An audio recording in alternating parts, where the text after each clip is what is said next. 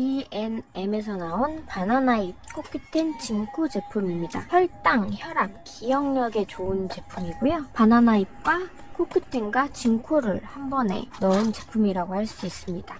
반짝반짝이는 패키지에 들어있고요. 초록색이에요. 여기 G&M에서 나온 제품들이 많기 때문에 구매하실 때 잘 확인하신 다음에 구매를 하셔야 할 것 같습니다.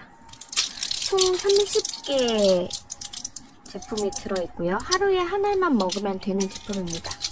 바나나잎 추출물 같은 경우에는 식욕주로부터 식후 혈당 상승 억제에 도움을 줄 수 있다는 기능성 인증을 받았다고 해요. 그래서 혈당에 약간 문제가 있으신 분들이라던가 좀 주의를 기울이고 싶다고 생각하시는 분들은 바나나잎 추출물이 들어있는 제품을 먹어주시는 것도 좋을 것 같습니다.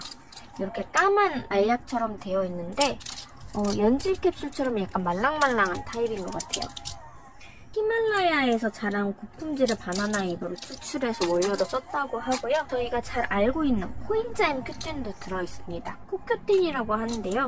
혈압이나 항산화 케어에 효과가 있기 때문에 꽤 많이 찾아 드시는 성분이기도 해요. Q10 같은 경우는 미생물 발효로 얻은 순도 98% 이상의 coenzyme Q10 원료를 사용했다고 합니다. 그리고 마지막으로 은행잎 추출물 같은 경우는 어, 저도 최근에 찾아서 먹고 있는 성분이기도 한데요. 이게 혈행 개선과 기억력이 좋다고 합니다.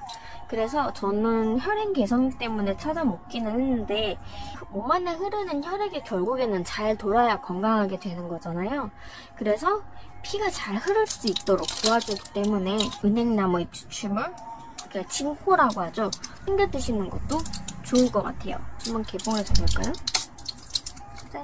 짠! 이렇게 쉽게 까서 먹을 수 있는 제품이고요. 다회용 통에 담겨 있는 것도 좋지만 이렇게 하나하나 포장이 돼서 공기와 그 차단되어 있는 포장도 잘 이런 보관을 못 하시는 분들은 차라리 그게 나은 것 같기는 하더라고요. 이렇게 손바닥에 올려놓으면 사이즈가 그리 큰 사이즈는 아니에요. 까맣게 캡슐로 이루어져 있고요. 물과 함께 아무 때나 드시면 되는 제품입니다. 그리고 기왕 깐 거 한번 먹어봐야겠죠? 저는 알약을 잘 먹는 편이기도 하고 이 알약의 사이즈가 그렇게 크지 않아요. 그래서 먹는 데는 큰 불편함이 없을 것 같습니다. 이런 하루에 한 번 먹는 제품 같은 경우에는 대체로 일정한 시간에 먹는 게 좋다고 하시더라고요. 약효 성분이 하루를 돌기 때문에 아침에 드셨으면 쭉 아침에 드시는 게 좋고 저녁에 드셨다면 쭉 저녁에 드시는 게 좋아요.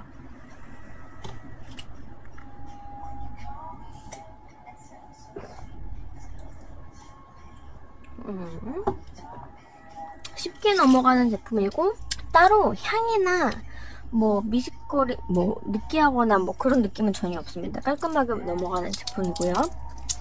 코큐텐이랑 바나나잎이랑 은행나무의 추출물을 그 어른들한테도 확실히 더 좋다고 할 수 있을 것 같아요. 아무래도 혈액 흐름이라던가 기억력 개선이라던가 혈당 스파이크를 친다던가 하는 게 나이가 들수록 더 확연하게 나타나는 증상이거든요. 그래서 이 세 가지 성분이 아주 적절하게 들어가 있기 때문에 뭐 부모님께 선물을 해주셔도 좋고 혹은 이제 30대 후반, 40대에 들어가면서 건강을 좀 챙겨야겠다라고 생각하시는 분들도 챙겨두셔도 좋을 것 같은 제품입니다.